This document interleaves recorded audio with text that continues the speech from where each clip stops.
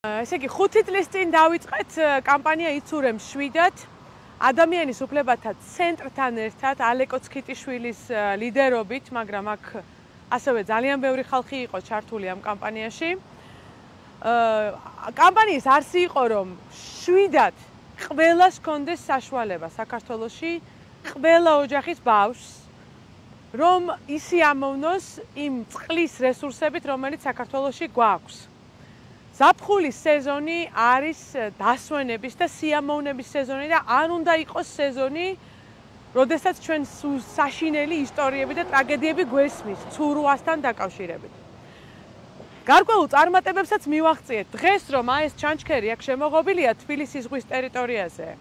ამ კამპანიის შედეგია და კონკრეტულად ალეკოს ქიტიშვილის და მისი იურისტების გამარჯვების შედეგია, რომ მერიამ და GVP მეს ტერიტორიას შემოსაზღვრა ყოველ წელს იღუპებოდა აქ ხალხი და ეს დამთავრდა. დავასრულეთ ეს ყველაფერი და ჩვენ გვინდა რომ იგივე გავაკეთოთ საქართველოს თელ ტერიტორიაზე. დავასრულოთ ეს უბედურება და შვიდად დავიწყოთ ცხოვრება, შვიდად ვიცუროთ ყველა.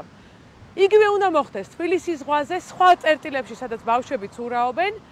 ქუთაისში და ყველგან საქართველოს ტერიტორიაზე მერიებმა უნდა გამოყონ ტერიტორიები, სადაც ბავშვები ცურაობენ და მოაწესრიგონ, ნიშნები დააყენონ, მაშველები დააყენონ.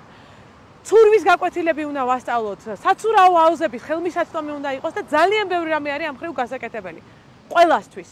ეს არის ჩვენი კამპანია იცურემ 7 და დღეს მას 5 წელი შეუსრულდა.